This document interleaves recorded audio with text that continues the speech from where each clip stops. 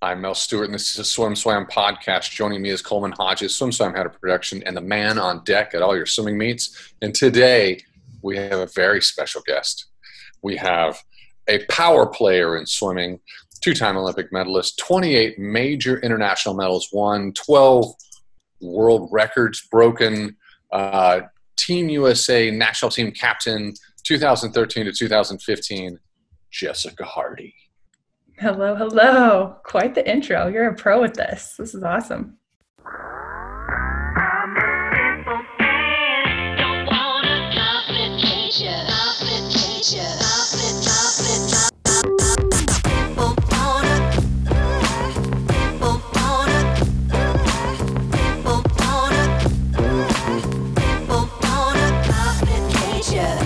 I mean, you know, we just we want to do you justice. We want to put it all out there, get it all out in the intro, so people know who they're talking to. And uh, you know, I feel like I can run through a wall now. I'm ready. um, you know what's what's what's interesting is like when the first time I ever met you, I was like, wow, this this is a this is a fit woman who is can can put it down in the pool. And I was thinking personally, I think she could beat me up. Like you just, you're like so fit. I was like, God, man, I just I feel like a wimp compared to No, I mean, I I'm strong for sure, naturally, but I couldn't do a 200 butterfly to save my life, literally. So I have a lot of respect for you as well. A ton of respect. You got the fast twitch fiber. It's yep. uh so what, here's the thing right off the right off the top we, we you know just the, the, we get the we get the big metrics out there in, in front in, in my research on you you know i didn't know that you I didn't know how involved you were in sport. And I didn't know that you were involved at such a high level. I didn't know about your representation on the Olympic Internal Operations Committee, USA Swimming Steering Committee, and USA Swimming Athlete Executive Committee. And that's kind of a rare situation because over the years, frankly, a lot of we, we know what our teammates are like on the national team, and, and the smarter ones oftentimes serve. But uh, kudos to you you know what what what motivated you to step up and do that? And what was the experience like? Um i mean I, I, I was asked to be on it so it was more just like i was honored to be asked. And on a personal level i thought it was really important to kind of advocate for the needs and the the support the safety the wishes of all the athletes. So i thought you know i was pretty well connected. I have a, a pretty good grasp on kind of what my teammates were doing at the time. And i was i'm a social person so i'm always in touch with people and kind of i'm just thought it would be good to kind of just do as much as i can to stand up for what everyone kind of needed. But it was it was done in 2016 and um it was a short term thing. It wasn't a ton of work not a lot of commitment but definitely a big honor. And um I hope that I made a difference. I think I was part of the influence to get 50s in um, at Pan Pacs, so that was what I'm most proud of. Yeah. That, that's some serious power. that's some serious power. Swim fans Thanks. love you for that. Way to undersell it. You should have just said, "Yeah, I went in there and like I, it was a lot of I was banging your fists on the no. table." Yeah, right. The coaches would. You didn't. You coaches, said, I, I would have laughed me out of the room. I was expecting, a, you know, a, a big political blow up story, and you just come on. Was, no, no. Um, it's pretty mellow. Well, I mean, you've been there too. it's just a bunch of coaches just catching up and talking about the future of the sport. No big deal. Okay, but before I, I, I, Coleman takes over and just hogs all the time for himself, I do have to say this so that everyone has the full scope of, of, of, of who you are.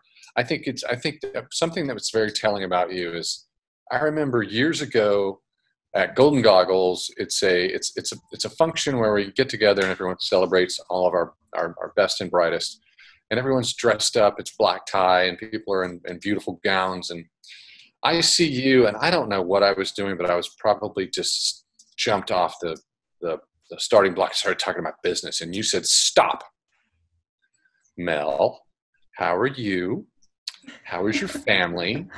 And I felt like an asshole. Oh no, no, no! You're the Texan Southern gentleman over there. No, I mean I just care. I care about people. I like to talk and connect with people. It means stuff to me. So Golden Goggles is so cool because it's the one place where nobody's stressed about competing, you know? So usually when we're all together, it's business, but that's the one time where it's like, how are you actually doing? What's new? You know, and catching up with you is always such a good conversation. I had to, I couldn't let it slip away. And, and one last thing. Sorry, Coleman. One last thing. Sorry. right. just, it, we, we're, we're, we're going high level here. This is just, you know, if, if, if folks are not, if they, if, if they don't know Jessica Hardy, shame on them. But if they, you know, if, you know, they might not know everything. You're, you're, you're engaged in swim and a lot of athletes, uh, you know, I, I think of BJ Bedford, who's an Olympic champion, Maritza Correia, uh, Olympic medalist and they they they dovetailed from swim into the business side of swim and that's not always easy to do. You've done that with bsn sports. Bsn sports is a billion dollars plus in sales a year. They're making strong uh, inroads in the swimming market and you're working with them and it's and it's you've been a crucial part of their success because they've been coming on strong. What what do you do with bsn and why, why did you accept this position Thanks. It's been fun. Um, I didn't know who BSN Sports was. You know, like most athletes, they're like a middleman where they are really successful in the high school industry, but um, they they basically are. They work with all the suit manufacturers and help with teams who don't have a direct deal, um, or if they do, they help kind of you know fix the, the interim party as well um, but it's a suit manufacturing apparel and equipment company and it's a huge company mostly football baseball basketball and they decided to focus on swimming about two years ago and um, they asked me to do a clinic at my high school really easy convenient for me and mel i think you even suggested my name for that which i'm eternally grateful for and it went great and they asked me to come on full time and um, i had to kind of learn more about the company and uh, it's been fun. We have grown the swimming division to over an 11 million dollar category and i work kind of in between sales and marketing so I get to have a little bit of fun with marketing and put my business hat on for sales. And um, I kind of just do whatever they need me to do um, to help the company and help the, the swimming category specifically grow. But um, I think the future is exciting and bright, and I really am loving being involved in the sport. Um, from the dry side, I don't I don't have any desire to be getting in the water for morning practices or spending a lot of time at swim meets anymore. But I still have so much love and passion to help the sport grow and continue to, you know, reach its its full potential. And especially coaches, a lot of them are people I swam with now because I'm older, and it's just fun to kind of catch up and stay involved and keep talking to people that I grew up with. You know, so I'm living the dream. It's a blast. All right. So I'm going to jump in with some more some more swim nerd stuff. I want to hear about a little bit about your background and swimming career. Uh, you know, you talked about you, you, get to reconnect with people you swam with, people from your high school. Um, I know you were the like high school swimmer of the year, I think, in 2004 and 05. What was your high school swimming experience like? Uh, being being that elite of an athlete. Um, I started swimming with Dave Salo on the Irvine Nova Aquatics in my sophomore year of high school. Before that, I'd been like a water polo player, spent a lot of time kind of just messing around and having fun. And I spent a lot of time in the water with water polo, but when I started swimming with Salo, I quit polo and just focused on swimming. And I did both high school and club, like trained with the high school team and the club team. So I was in the water a lot of a lot of hours, you know. And I was in the water a lot with polo too, like up to eight hours a day for that. So um, it wasn't always hard, you know. It's kind of goofing around and having fun with your friends. Even with Salo, he's not a high intent. He's not a high yardage guy, so it was hard, but you know, I never was swimming 10 million 200 butterflies like Mel. It was just kind of like a 75 at a time, you know, or 25 at a time. Um, and I loved it. It was fun. And my junior year, I made uh, my junior year Olympic trials were in my hometown of Long Beach, and I was the only qualifier to live in Long Beach. So I got to swim in some like celebrity relay and stuff as a high school kid, and I think that boosted my confidence that you know maybe I can actually you know deserve to be in that spotlight a little bit maybe. And i actually made the final and got fifth place which totally blew my expectations out of the water. And the next year i made the national team um, as a senior in high school and i broke a world record that year too. So it was a mental game for me. Once i believed in myself i was there. And you know i, I just had fun on the way and played a lot of you know tag with my friends and warm up and socialize the whole time. But I like to race. I like to go fast and I don't like to lose. You know, in Salo's environment at the time had a lot of Olympians in the group and I didn't want to be embarrassed every day in practice. So just tried to keep up and it worked out. But yeah, I, I, I did swim high school too. So I practiced with my high school team, which isn't usually that common for people on the national team to actually practice with their with their high school team. And um, for me, I'm still best friends with my people, my friends from high school. Like we still are. I'm hanging out with them this weekend. You know, like very close friends, and that was more important to me. It's just maintaining the friendship and the relationships and it was really fun. It was kind of like the no pressure type of environment where you just want to win. And I swam a lot of off events like 200 AM, 500 free, you know, a lot of weird stuff. And some of my best times are still from high school because I was just swimming for fun and didn't didn't care. Um, but yeah, it worked out. I broke the, the minute barrier. I was the first person to break a minute in the 100 breaststroke yards um, in high school and got swimmer of the year both my junior and senior year. So it was, I think when you're having fun, it's easy to swim fast. You know, that's the moral of the story. I was going to jump in here because I, I think you answered the question. What is the longest? You know, have you done 500 free? Have you dropped some 400 AMs? Have you have you have, did you ever swim the mile? No, I have not swum the 400 AM or the mile or the 200 fly um, ever, and I never will. Shame, shame, no. shame, shame. I, that you you came through the hollowed halls of of the swimming community without swimming those events, and I have. Yep. I'm there's all sorts of judgment happening right now. I'm sorry. I know it's just because you're jealous, because that's that's truly I think the the bottom root of the problem. But no, I think I grew up as a sprinter. I swam on the Nadadores as a kid, so they're a distance team, and I did terribly. And they tried to make me do all that stuff, and I was about to quit the sport, but um, found water polo, and that's kind of my way of avoiding it. So I was able to, con- you know, continue sprinting and having fun that way. And then I got good enough at my good events to never have to swim the the terrible events. Thank goodness. Not terrible, the difficult, the the uh, respectfully challenging events. I have a lot of respect. I think Sorry. everyone I think everyone listening who who swims at 200 and up is jealous right now. I, Sorry, I don't guys. think it's just Mel. Um, I mean that sounds like the life, right? You you were playing water polo, you're doing tag during warm-ups, you're having fun. I mean, honest in my opinion, this is how this is what swimming should be, right? I agree with you. Yeah. Um, we were. T- I mean, I never graduated from the summer league stage. Like I'm still a summer league kid right now, and I don't think you should have to. You know. I totally agree. We were talking to Missy Franklin and her husband Hayes just the other day, and, and about summer league, and her husband Hayes swam on his summer league team until he was 18, and uh, that's awesome. I I think everyone should be doing that. Um, yeah. Did were you always so versatile? Did you always swim breaststroke and freestyle? And no, I, 50 fly? Didn't you win a medal in that somewhere?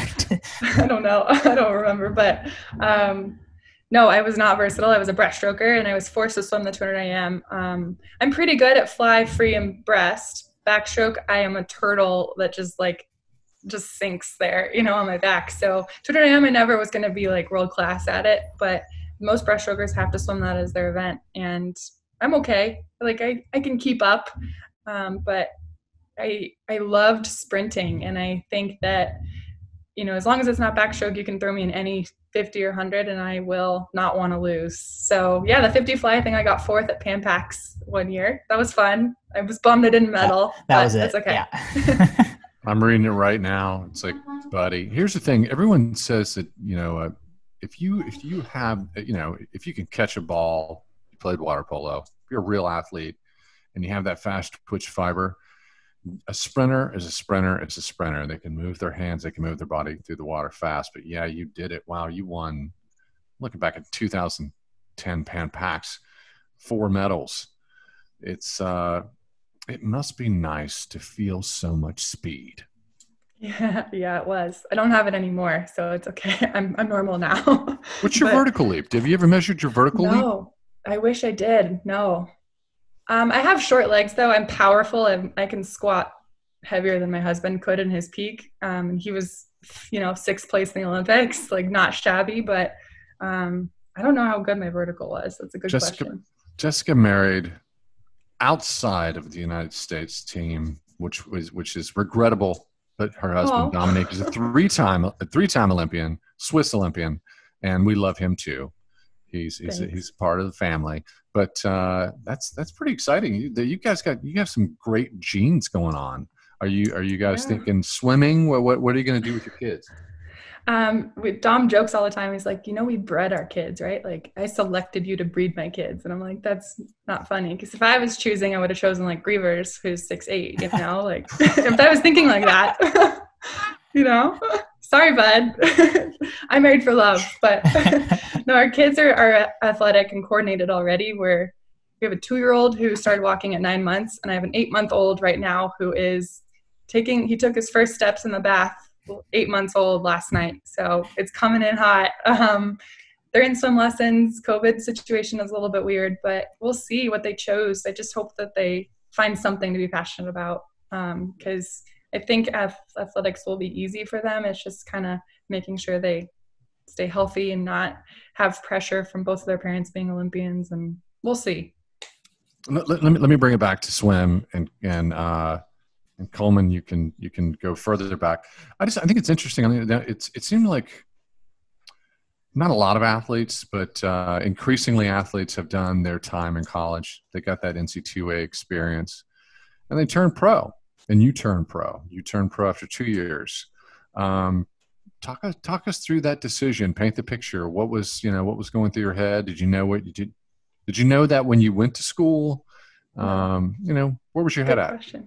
Very good question. I think um, I had been exposed to a lot of professionals in high school on Nova Aquatics. There were 20 in the 20s of amount of Olympians that I was training with as a high school kid, and seeing them go to photo shoots and like the lifestyle was fun, you know. And I saw the potential in the sport um, that kind of just kind of excited me. And um, I went to Cal for two years, and I won four NCAA titles, and um, really enjoyed the team environment you know, loved relays. I still relays are the best part of our sport, in my opinion. And um, I feel like I got the full experience, but I wasn't doing any best times in my breaststroke. So I was increasingly frustrated um, on a personal level. And I knew that I had to kind of take care of myself first and foremost and put myself ahead of the team, you know, in that situation. And um, I did go pro, and it was mostly because I couldn't, it didn't make sense for me to transfer down to um, Salo at SC when he became head coach because they had Rebecca Soni and like literally the best swimmer in the world in my events, you know. So, um, you know, I just went pro and decided to have fun with some photo shoots and see what that opportunity kind of allowed. It wasn't like a calculated thing like where Missy knew going into college where she would swim for two years and then go pro. If for me, it was kind of like the timing makes sense and I miss my old coach where I broke world records already and you know I missed home. For me, Southern California was an easy transition to come home and live with my parents and have them cook meals for me leading up to the Olympics. So it just was a comfortable thing and it worked out. Um, I'm glad that I went to college and had that team experience. It shapes who you are as a person for life. And I met my husband there, you know, and great experiences happened. And I'm so grateful for that opportunity and such a great school. And I also got the best of both worlds swimming pro and having a lot of fun doing that stuff too. So can't complain. What what were some of your uh, fondest or most fun memories of going pro those first couple of years? Oh. You know, oh like did, did you have a memorable photo shoot or did you get to, you know, go to World Cups or, you know, some some of the things that you get like you talked about you get to do as a pro? Yeah, I think I took advantage of pretty much every opportunity you can as a pro. I had a lot of really great mentors that I had swum with in high school, like Jason Lezak specifically, Aaron Peirsol, Amanda Beard. I trained with all of them, and they kind of just included me in on whatever you know opportunities were happening in the sport. And this was before the ISL. You know, we didn't have a ton to do. There wasn't a lot of opportunities, but it was it was cool. We did the World Cups. I won the overall World Cup in 2009, um, where you're basically living out of a suitcase, you know, traveling to every continent except for the U.S. Um, for a couple months, and that's so fun. With just the memories are crazy, you know. Um, getting to like shark dive while we're in South Africa. Like I always tried to do cool stuff wherever we were, and you know, there's a lot of the times swim, the swimmers from other countries are like legitimately famous in their home country so there's pretty cool opportunities that they kind of allow you to do um,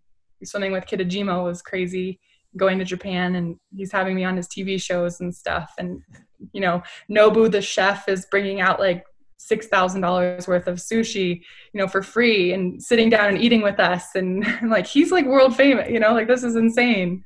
Um, wait a but, minute! Wait a minute! Wait a minute! Yeah, uh, you eat a lot of stuff. sushi in Southern California. I've had some crazy nights of sushi that's like five, six hundred dollar dinners. Where uh, I've had some crazy sushi experiences in SoCal. Pretty good in Austin, but when you're when you're when you're eating sushi at that level, what's the difference? I mean, basically, it's almost like you know, it's it's the down payment on a really swank car, but that's that's a high ticket. What's the difference? It's the taste. It's you know, what what is it? I don't know what I ate. I couldn't tell you if my life depended on it, but it melted in my mouth. It was so good. It was the best, like softest. It was like a feathery fish, you know, like butter. It was butter. Yeah, yeah, exactly.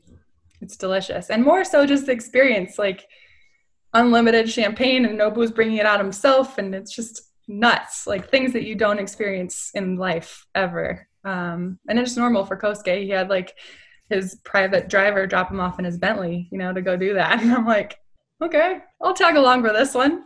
I knew they lived swank lifestyles. I knew it was better. I knew that they were, you know, that there was fame and stardom in swim internationally.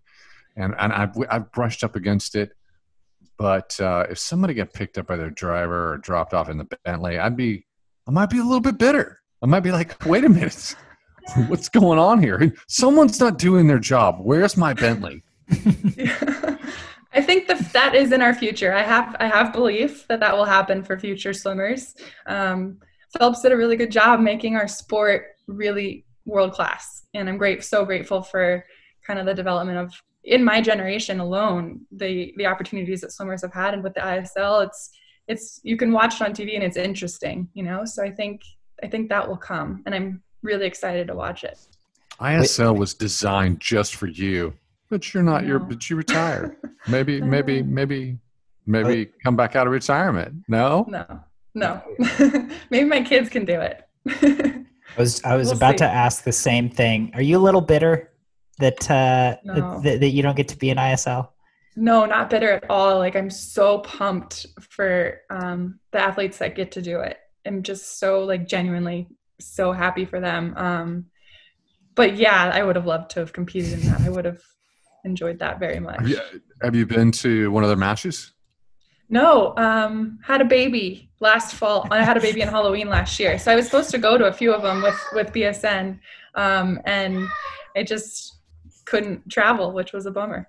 We hear somebody in the background. Who is it? Sorry, my daughter just popped her head in. Sorry. She can come on camera if she wants to. Okay, Dom uh, took her away already. it's, it's a um, so Coleman had Coleman covered a lot of them. He embedded for a period of time last fall, and it, it, what the fascinating thing is when you walk into that pool area, it's walking into a television studio, and uh, I've spent a lot of time in television studios. People don't know this about me, but I grew up in a 24-hour television network city and my dad we were very immersed in this in that world. And that was in the 1980s but it, uh, what struck me is it's a tv studio. This is an entertainment property. So you're going to have to get there somehow some way and and fully experience that. Because i think that i think as much as you're a fan now you'd be a huge fan if you were there in person. Absolutely. It's so cool. My best friends in the sport are some of the general managers now Lezak and uh, Caitlin and Lenny, I swam with all of them. Caitlin, I still talk to weekly. Um, and Lezak's, I talked to, I mean, I, am really good friends with all of them. So just to see their involvement and the difference they're making on the sport and getting the kind of behind the scenes updates of how much work they're putting into it is awe inspiring. And it, it's something that I could not be more grateful for. And for sure will be there as soon as I can.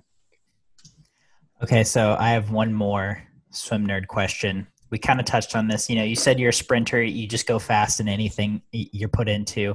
Um, but you know, I don't, I don't think we've ever seen someone with the versatility you had, or at least a breaststroker, where you started out really strong in breaststroke, and then later in your career, you just developed a a superb freestyle uh, to where you won trials in the 100 and the 50 in 2012 and and, and was you know anchoring gold medal relays um, you know can you tell us about that shift and development uh, within your career yeah i think freestyle developed for me when i got a little bit older i was 21 when i really started competing it on the international stage um, so kind of similar to like a, a guy where I needed time to develop the strength to be competitive in it. Um, I I'm a petite girl, but I'm I'm strong. Um, I'm, petite.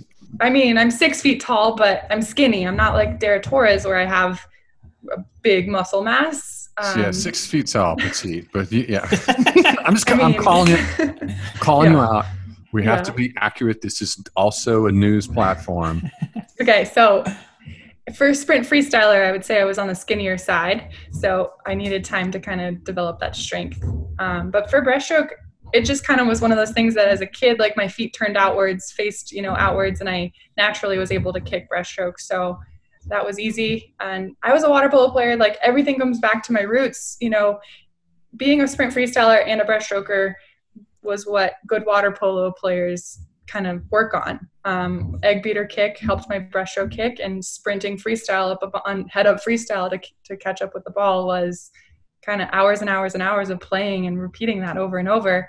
Um, they just kind of married into those events for me, and um, it was easy. Like I, I, it was hard because nobody else was doing it, and the schedule of events were never in favor of people who did those two events. So at a World Championships in 2000 I don't know, 13, I think. Um, I literally had the final of the 50 breast and the 50 free five minutes apart, and I was top seed in both at a world championships. And I won the 50 breast, and then I got eighth in the 50 free. And if I had had maybe 20 more minutes, I know I would have done better than that. So um, I'm frustrated, you know, sometimes by the lack of support around those two events being close together, but it was fun. Um, swimming stuff that nobody else I, I just had more friends you know in the ready room i i swam different events than most breaststrokers just swim im or breast and they just know each other but i knew everybody because i swam everything but backstroke basically so it was fun you trained with Yulia Efimova so yes. did you just like did you own her and practice on a daily basis it's like i got you uh you, you do this again what was, like, what was that like i don't like to talk bad about people but there are no girls that I ever trained with that beat me in practice. Yes. Let's put it that way. yes, that's what we wanted to hear. Um, here's the thing, and, and, and, hey, look, she's here's the thing. Some people train really well, and some people perform really well. Some people do both really well. Yes. Um, you know, it, but it's a unique situation when two stars uh, are together. So was was that inspiring? Was it stressful? Was it fun? You know, what was that environment like? There were three of us. Rebecca Soni was in the group at the same time, one of the world championships, we swept the podium in the 50 breast. I got first. I don't remember who got second. Probably Rebecca was second, Julia was third, and we trained together every day.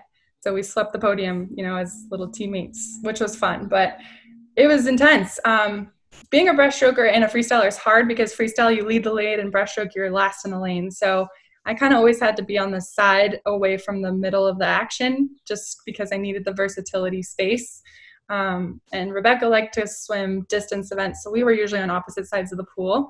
And then Yulia bounced around to whoever was doing what she wanted. And um, yeah, we sometimes would all be at the end of the lane and you know we'd get up for time swims and look around and be like oops it's just the three of us that it's up here you know and we'd have to have like a olympic final performance in practice. Um, and that happened probably weekly. Um, yeah, we always were aware of what each other was doing, and it was a huge motivator. I'm listening to podcasts and stuff about gymnasts where they they had to perform about you know Olympic level every time they perform, and I think there's a lot to be said about that preparing you for you know stressful competitions way better than you ever could do without them. So it worked out. Did you like go to Starbucks afterwards or hang out? Was how, Yulia's, uh, Yulia's English. Yulia's English isn't great, so we didn't really hang out. But um, Rebecca and I, yeah, for sure, we still have a ton of friends in common, and yeah, we're different people. She's a lot more soft spoken and mellow, and I'm the loud sprinter. So not best friends, but we definitely get along great. What was was there? was there a memorable get up swim for the three of you? Uh, one that sticks out in your mind? There's thousands of them. We broke world records in practice, like literally. Um, yeah, I look back and I don't believe the stuff we've done. It's cool. Do you, do, is there one? Could you tell us just one? Just one. Just one.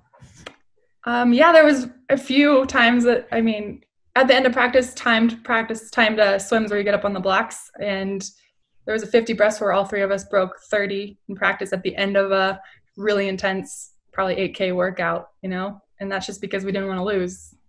So that kind of stuff happened a lot. I mean, and that was like 10 years ago now. So you see people breaking 30 all the time now, but it didn't happen then, you know? I think like five people have broken 30 now. I don't, I don't know. I get tagged on stuff on Instagram and there's a lot. I'm impressed. I'm impressed. It's cool. You're yeah. being modest. That's extraordinary. Yeah, that sounds that sounds really hard. So uh, we're we're down to about six and a half minutes, and we we we when, with someone with so many accolades, we should ask you this question. When I, we missed it with some with some really big name athletes. Was you know, is there a moment in time where you had a perfect swim, and you're like, that was perfect, or you felt amazing, and it's just a memory that's crystallized in your brain? Um, no such thing as the perfect swim ever. No, it doesn't exist I am convinced of it. Um, but the favorite race where I felt the best, and I'm so appreciative of that feeling, is um, 2000.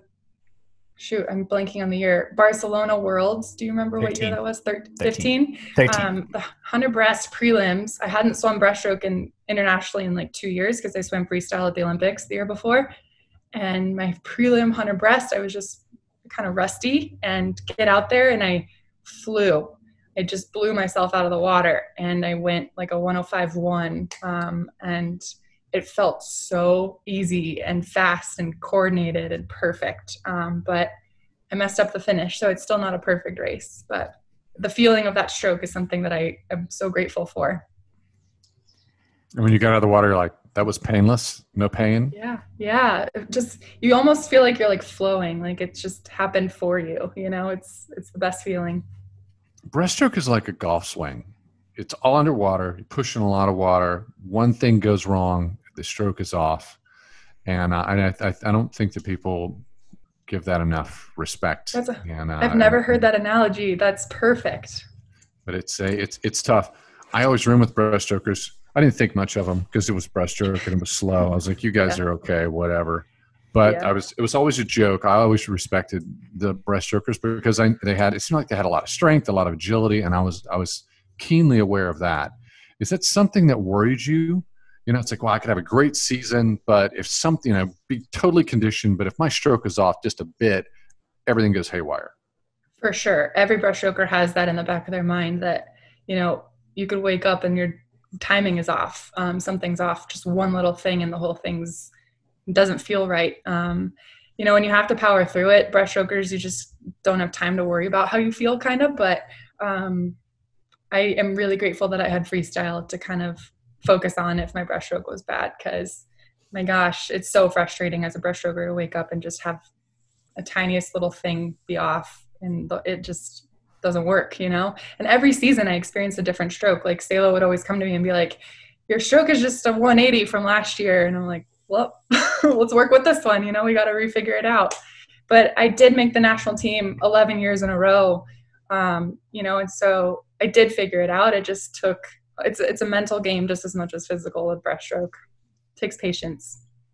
So, so you just said it changed so much. Was there one, you know, were you more of, of, of a pull driven stroke? Was it all kick for you? Did you know, did it change throughout?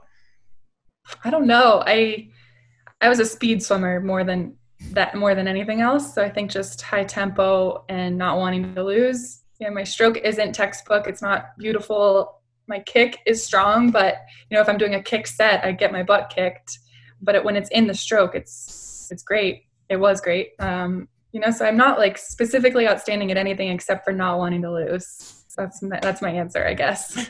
we, we really missed a, a, a, we, we, we, we skipped over something that was extraordinarily important. We can't end this without finding out because it's, it's going to be the most important part of this interview.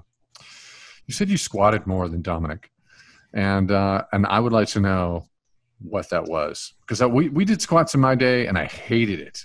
But you know, some people are powerful and some people aren't. What could what could you squat? I don't remember. I genuinely don't remember. I'm so sorry.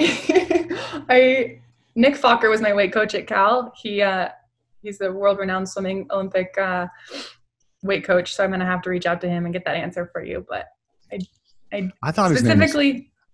His name was, go ahead. I thought, I thought his name was Folker. I, have I been pronouncing it the wrong way yeah. for years? Same, I think it's the same thing. F O L K E R. Yeah, it's so you don't know. I was guessing three three hundred pounds at least, but yeah. uh, I would have said in the four hundreds. I'm gonna have to find out though. I don't know. That was what we were looking for. I wasn't sure. So is it free weight or were you pressing uh, a machine? Pressing I was better than free weight. Um, I'll find out more factual info for you. I can't believe you don't have this answer for us. We need Sorry. to know. We're gonna. I like. I'm the kind of person I don't remember my best times. I don't remember a lot of important information on purpose, so that I don't limit myself. You know, I, I like to kind of be ignorantly in a happy place and just kind of let my work speaks for itself in a way. She just knows that she won. yeah, exactly. I think that's important. We're down to about a minute and a half. Do you have any parting thoughts? Anything that you would like to share? A question maybe that we didn't didn't cover that's obvious.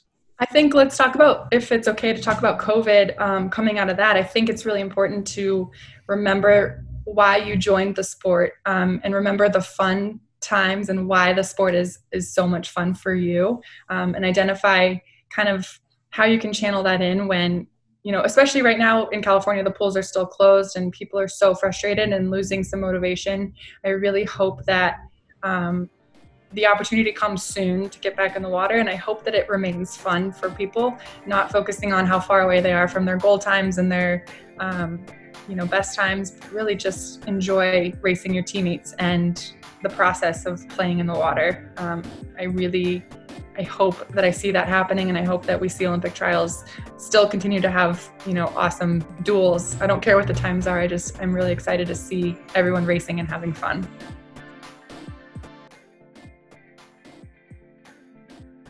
You've been listening to the SwimSwam podcast. Stay tuned for new episodes every week. You can take SwimSwam podcast on the go by subscribing on your favorite podcast platform. Look for links in the description below, and be sure to subscribe to our YouTube channel for more videos as well.